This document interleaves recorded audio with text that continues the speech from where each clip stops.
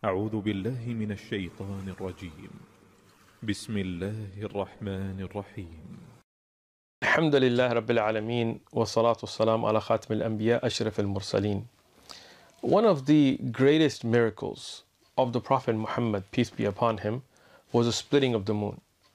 This is something that uh, showed the world that he was no doubt a true prophet.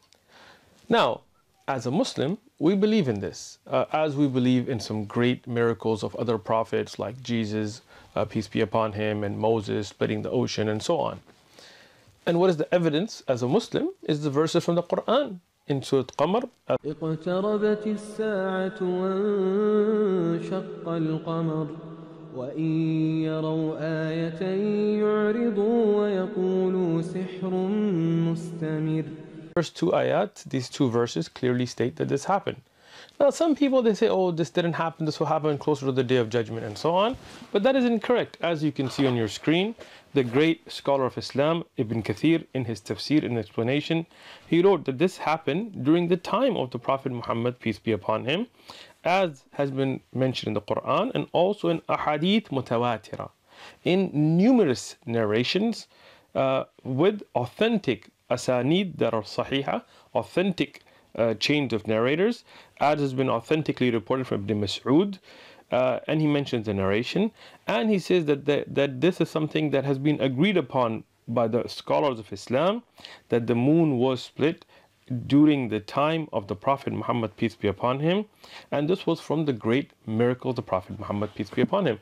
So, from the Quran itself, from the mutawatir, sahih, ahadith, and from the agreement of the scholars of Islam, we know this happened.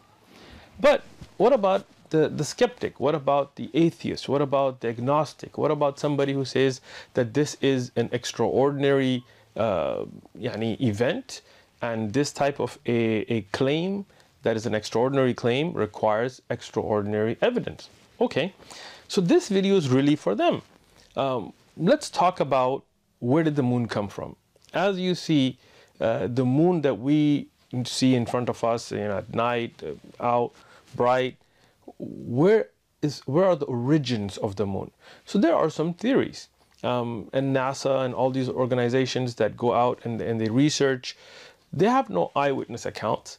But one of the theories is that there was a giant impact. This hypothesis has been put forward that a Mars-sized planet called Theia crashed into the Earth, and what you will see is a picture of an art- artist's uh, imagination, renderation of what it might have looked like. Obviously, we have no video. We don't have a Twitter approved YouTube video to post of it.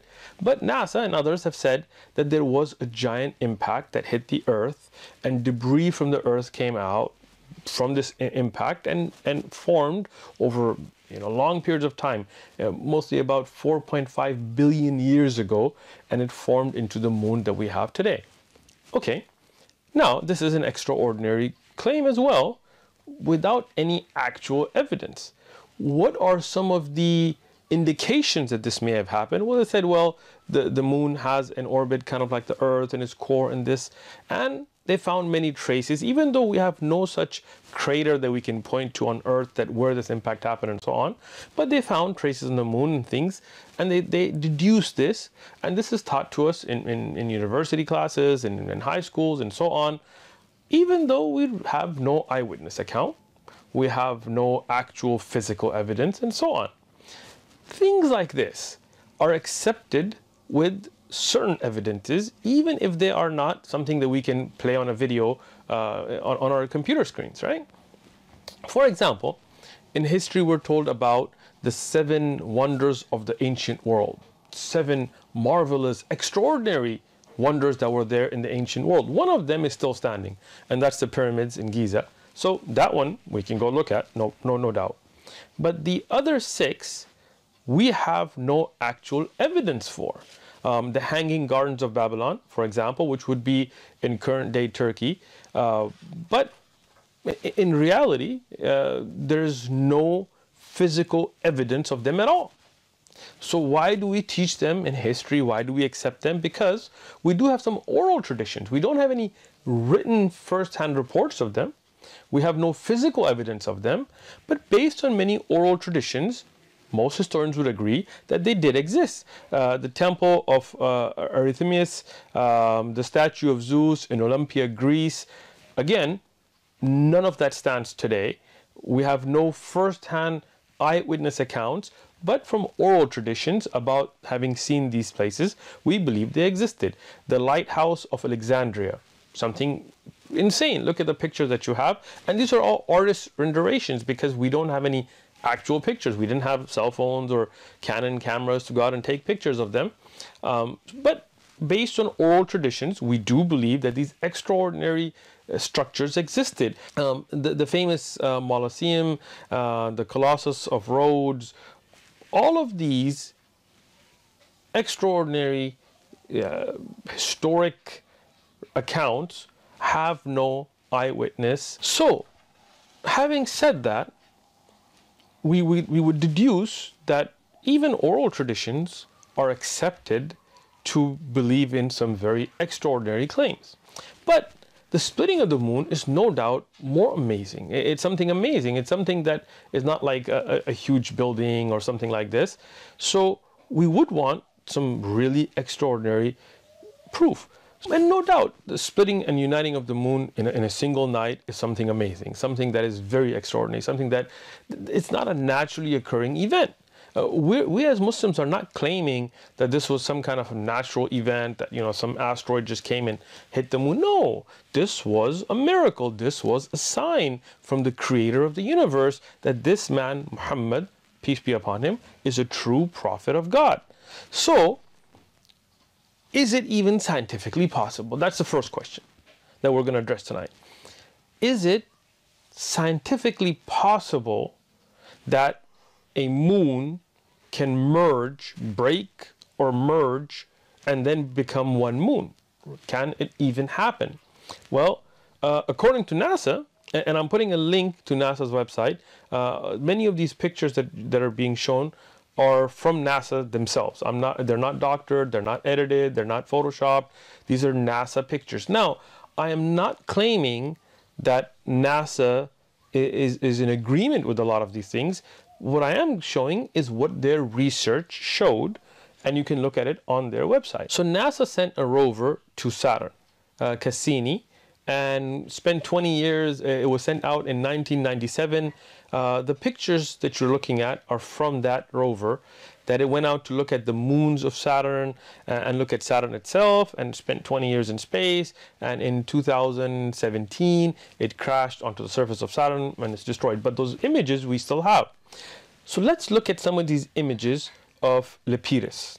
Lepidus is one of the moons of Saturn. And if you look at it, you see this ridge that NASA has shown. This is a, some, a mystery.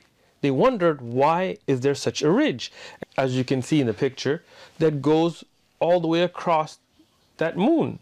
And why is it that the surface is so different on different sides? Well, according to NASA, one of the accepted theories is that this was an impact, two moons, or a body that separated at certain time, crashed in, and as you can see an artist's uh, rendering of it, to make the moon today. And, and, and after scanning the surface, this is what they have come up with, that two separate bodies came together and today it's one moon. So can you say is it possible? No doubt it's possible. But that is not our moon, right? That is something in Saturn, okay? So let's talk about our moon. If you look at the picture on your screen today, and this is again, you can find all of these on NASA's website itself, and I've put a link in the description. You'll have to search around there. Um, the moon has two, our moon, the Earth's moon, has two very different faces one that is facing towards the earth and one that is facing away from the earth, and they're very different. Well, why is that? One of the theories that's put forward by NASA themselves is that this is because there was a merging, and this is now the picture you have on your screen. This is also an artist's rendering of a theory put forward by NASA scientists that there was a merging of two moons into one, in our moon of the Earth's moon. So what does this tell you? That no doubt there it is very possible that our moon has been merged back together. And one of the evidences that you can find for this, as you will see in the picture now, are these ridges, which are called rima, rima meaning uh, grooves, right? Uh, and there is the rima Ariadaeus, which is 300 kilometers. In fact, all across the moon, in different places, you will find these cracks. Well, what causes them? There are many theories. One of them being that, as we mentioned before, that the two moons that collided caused these ridges. One of them being their volcanic uh, tunnels and so on. I'm not claiming that NASA knows the answer, but they have taken these pictures and put forward these theories as well. So, how can we be sure or that how did, did the moon ever split and come back together? Well, I mean, the only way we could really know is if we had eyewitness accounts. Wouldn't that be amazing if we actually had eyewitness accounts? Well, we do. we do have eyewitness accounts. Let me begin with those. There is, uh, during the time of the Prophet Muhammad, peace and blessings be upon him, there is an event that happened where the people of Mecca, the, the non believers of Mecca, challenged the Prophet Muhammad, peace be upon him, and said, If you're a true prophet, split this moon, split it in two, and bring it back together. And the Prophet Muhammad, peace be upon him, told them that if I do this, will you believe? They said, Yes. He said, Okay. And he prayed to God, to the Creator, to Allah. And Allah split the moon. And eyewitnesses saw this. And I know this is an amazing, extraordinary event. It's, that's why we call it a miracle. And it came back together the same night. Now, an, a, a skeptic would ask, okay, well, who saw this? Obviously, the Prophet Muhammad, peace be upon him. But you could say, well, he's the one that's performing this, so, you know, who else saw it? Well, we have in his historic documentation, in a book called Sahih al Bukhari, we have the narration from Ibn Mas'ud. Ibn Mas'ud is one of the companions of the Prophet Muhammad, peace be upon him. And in the narration that is on your screen now, he reports this to have occurred as well. Now, you could say, okay, well, who's Ibn Mas'ud? Ibn Mas'ud, we know exact details about this eyewitness. What was his name? His name was Abdullah. What was his father's name? His father's name was Mas'ud. What was his mother known as? Umm Abd. Did he have siblings? Yes. For example, he had a brother named Utbah. Okay, was he married? Yes. His wife was named Zainab. Did he have children? Yes. We know all of those details. We know who his son was, we know who his father who was, we know he was born in 594, we know that he died in 653. So this person who was an eyewitness and his credibility, his, his abilities, his history is well known. Okay, but who did he tell this event to? Well, as you can see on your screen, he told it to Abu Ma'mar. Well, who's Abu Ma'mar? His name is Abdullah. Well, who's his father? His father is a man named Sakhbara. Well, who did he tell it to? He told it to a man named Ibrahim al-Nakhai. Ibrahim, who is Ibrahim al-Nakhai? He is the son, uh, his name is Ibrahim, his father's name is Yazid. Well, who's his, fa- his grandfather? His, father, his grandfather's name is Qais. Well, who did he tell it to? He told it to Suleiman. Well, who is Suleiman? Suleiman ibn uh, Mahran al-A'mash. So you see, the entire community that heard this event, the chain of narrators are all well known to us. All the way to Imam Bukhari, and a Tirmidhi and other historians that wrote down this event. Not only do we know who those narrators are, we even know how reliable were they in their memorization, how trustworthy were they. We have their entire biography. Okay. Now, already we have more eyewitness accounts than for the hanging uh, gardens of Babylon or uh, the lighthouse of Alexandria, meaning that we actually know the person, we know their history who physically saw it. So you could say that if such a extraordinary event happened, why is Abdullah ibn Mas'ud the only witness? Well, he's not. we have more eyewitnesses. Who are they? Let's name more. Jubair ibn Mut'im.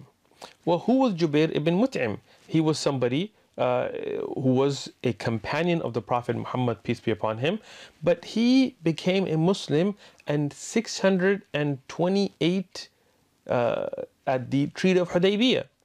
So that would mean that before the migration of the Prophet Muhammad, peace be upon him, from Mecca to Medina, which was around 622, he was a non Muslim. So he was from Mecca, and as a non Muslim, he witnessed this account and he has an eyewitness account that is on your screen. Imam Ahmad in his Musnad, Imam Tirmidhi in his Jamia, authentic narration, where he also says that I witnessed it, I saw that during the time of the Prophet Muhammad, peace be upon him, the moon split and came back together. So now you have another witness, and we have the same details about him and everybody that he reported to. Who was his father? It was Mut'im ibn Adi. Um, who did he have a son? Yes. One of his sons was Nafi' ibn Jubair. When did he die? 679. Uh, so, with all of that clear detail, we have another eyewitness. First, that Abdullah ibn Masud, who was a Muslim already, and the other, Jubair, who was not a Muslim at that time, that later accepted Islam. Okay, well, so you got two. How many else can you, can you give us? Many more. Hudayf ibn Yaman. Hudayf ibn Yaman he was also a companion of the Prophet Muhammad, peace be upon him. We have the exact same details father, mother, children, where he lived, how, he, how was, good was his memory, what kind of a person was he, what he did. All of that detail is present, and Abu Nu'aym and Al Bayhaqi and others have mentioned his narration. So, this is also, it's on your screen. He was also an eyewitness to the account. More, let's give you more. Anas ibn Malik. Anas ibn Malik, the interesting thing about him he's born in 612 and he dies in 711 and he's from Medina. And he in Sahih Bukhari he also witnesses this event. So that means the people of Medina were also witnesses to this event. Okay. Abdullah ibn Abbas also another witness authentic. Uh, you know we have Abdullah ibn Umar who was the son of Umar ibn Khattab famous companion also an authentic narration. Um, now some of them, they are physical witnesses, and there are other companions who were too young, so they asked the people of Mecca who witnessed it and, and got the information from them. Many, many, many reports. We can go on. But a very important report from eyewitnesses is what's reported by Ibn Kathir in Bidayah wa Nihaya, in one of the famous books of Islamic history called Bidayah wa Nihaya. It is also reported by Abu Nu'aym and is also reported by Ibn Sayyid al-Nas. In this narration, it lists non-Muslims who were eyewitnesses. So we've already given you six, seven of, of the Muslims uh, or, or those that became Muslim after this event that witnessed it. But now I'm going to give you of non-Muslims. Who were they? Walid ibn Mughira. We have his history as well. We have the famous Abu Jahl, whose actual name is Amr ibn Hisham. We have Al-As ibn Hisham. We have As ibn Wa'il.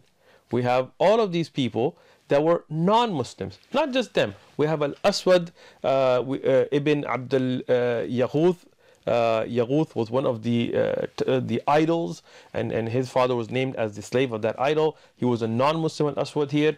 Uh, al-Aswad ibn Muttalib, uh, Zam'a ibn al-Aswad, uh, another ibn al-Harith. These eight mushrikeen, polytheists, that were there, they were the ones that challenged the Prophet Muhammad, peace be upon him, and said, If you are a true prophet, split this moon. They are witnesses in this narration that the moon split. Now, this is very important because these are opponents, these are enemies. If the moon didn't split, they would be the first one to come out and say, you know what, we put this challenge and it didn't happen. But they were all eyewitnesses, even as enemies, that the moon did split. Ibn Kathir had this in Bidayah and Nihaya, and I put the reference and the and the scan of the of the book. Uh, this is in Arabic, obviously on the, on the screen. Al-Hafiz Abu al-Qasim al-Tabrani, uh, the famous scholar of, of history, uh, and others, uh, Al-Qadi Iyad, and others have mentioned uh, this narration. Now, Qadi Iyad, one of the great scholars, historians in his book called Shifa, Sayyid Nas, uh, another great scholar in his Uyun al-Athar, um, uh, and, and I put the pictures on the on the screen for you to know about these books. They mention a very important narration, and Ibn Kathir has this in Bidayah wa Nihaya, that not only did these enemies of the Prophet Muhammad, peace be upon him, witness this, but they said that if this man, Muhammad, peace be upon him, has done some kind of magic, this is a trick, then he may have fooled us, but he will not have fooled the whole world. This is a skeptical question, and, and this is good. So they said, We will ask those caravans that were out to Yemen or to Syria, that were out, that were not in Mecca, whether they saw this event or not. And this is a question that somebody may have. If this event happened, why did people outside of Mecca not see it? Well, they did. In this narration, they asked the caravans that returned to Mecca, and every single one of them confirmed that they also saw the moon split.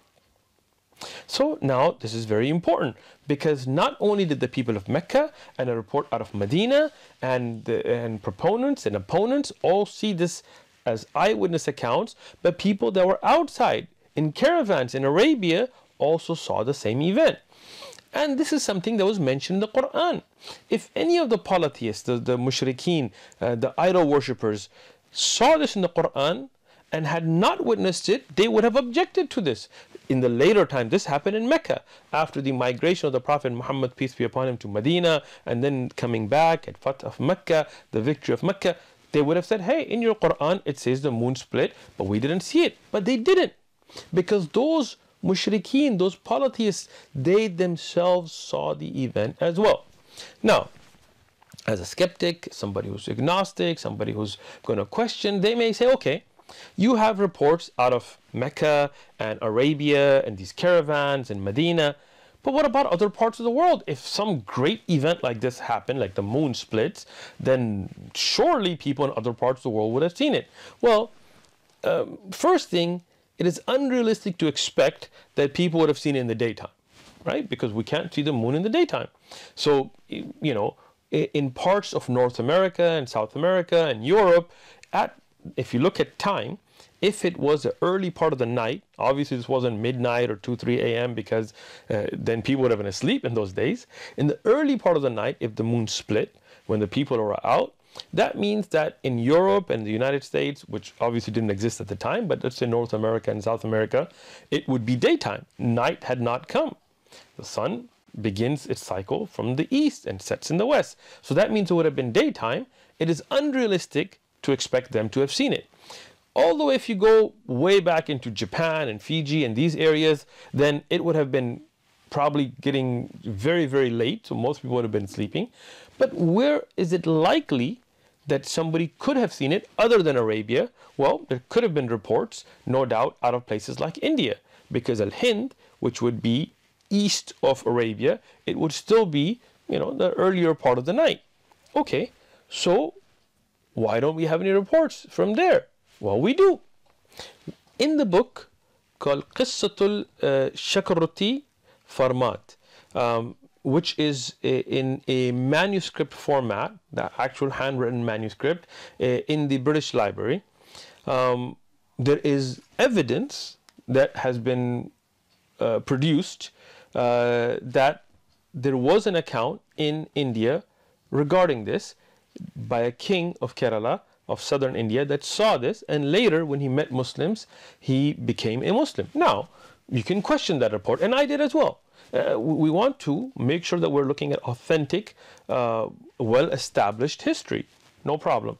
So, what I did is I emailed the British Library and I asked them about this. And I'm going to read off their email. So, the inquiry I sent was to the British Library, which is at 96 uh, Euston Road, London, uh, NW1 2DB, United Kingdom. And I called them uh, and I emailed them and I requested information about this manuscript.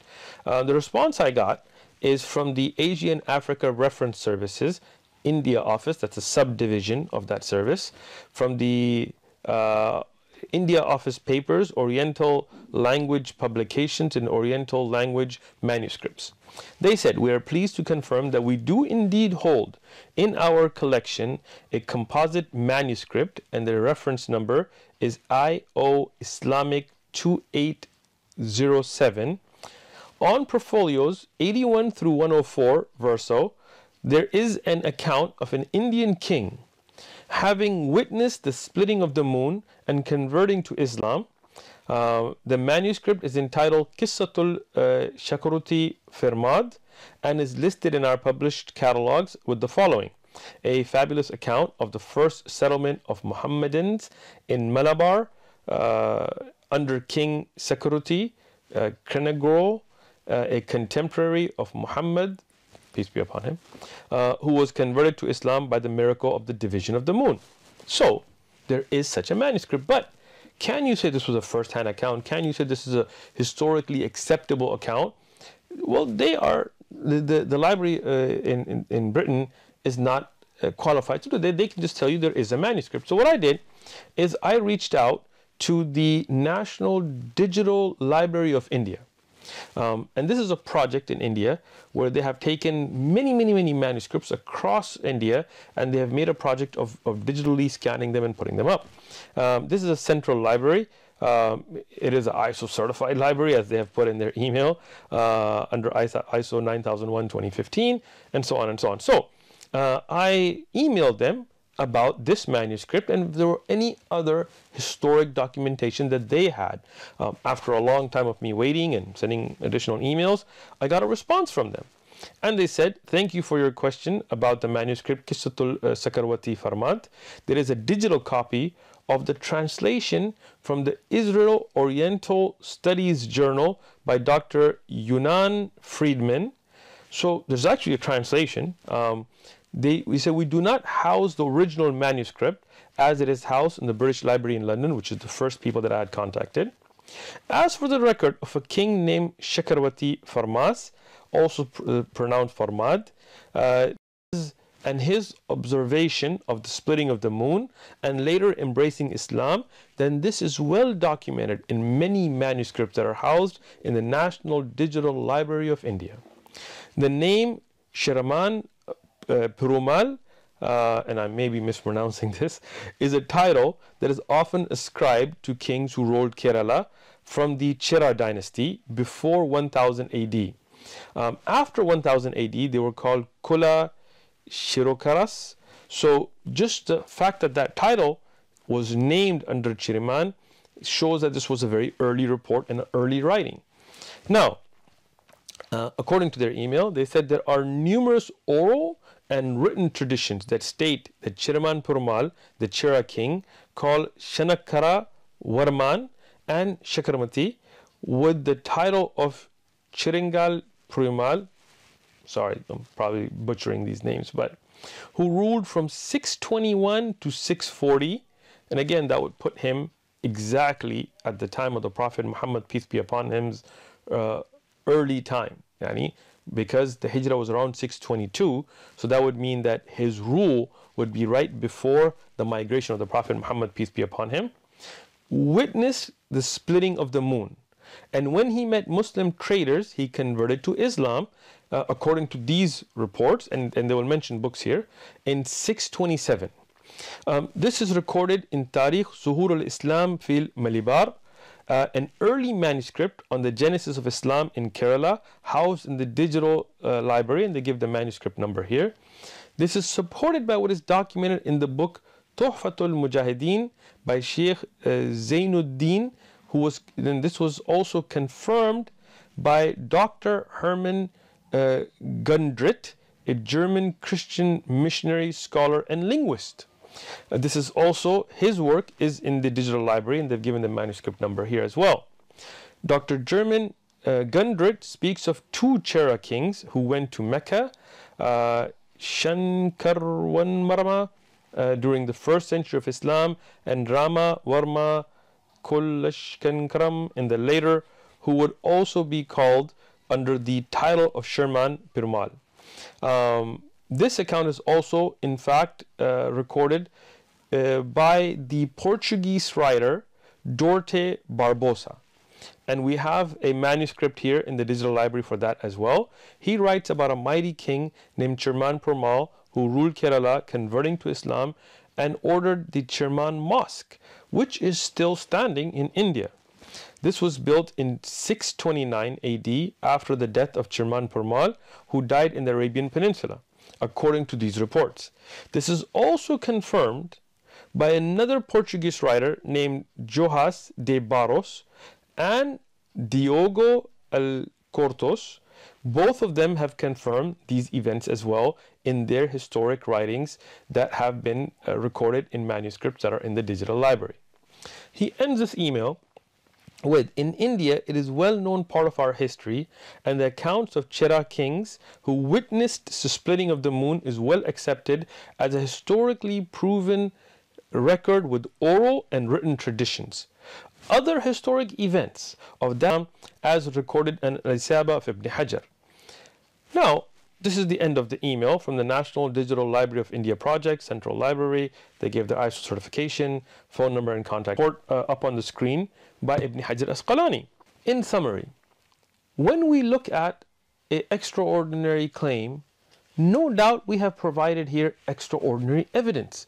Eyewitnesses, and, and not just eyewitnesses, those that were proponents and opponents, those that were in the same city of Mecca and those that were outside of Mecca. Those, those reports are all eyewitness first-hand reports that have been verified and documented. On top of that, we have seen reports that are historically acceptable. They do not meet the level of criterion that, that Islamic scholars have for checking of Jarh wa but they are acceptable reports, historic reports out of India of multiple sources that orally and, and in written format have documented that there was a king in India that witnessed this and later accepted Islam. The mosque that was built, and there's a picture of the mosque here, it is still standing. It has been through fires and so on, but it is such a well accepted fact that this mosque was built by that king after his accepting of Islam, after his witnessing the splitting of the moon, that even the Prime Minister of India made a gold replica of it to give a gift to the King of Saudi Arabia, showing the history of Islam in India. And there's a picture of this that I've put on the screen here for you to see. All the information about the kings of India and what happened during that time frame have been accepted through such reports. So this collaborated by the eyewitness accounts in the time of the Prophet Muhammad, peace be upon him, that are no doubt verified, show clear evidence. There is more evidence presented here than for most of history. Columbus uh, coming to South America and where he landed and what happened between him and the Incas and the Aztecs and so on. Who, who were the eyewitnesses to these accounts? Who did they tell this account to? Who were their parents? Who were their children? How reliable was their memory? We don't know.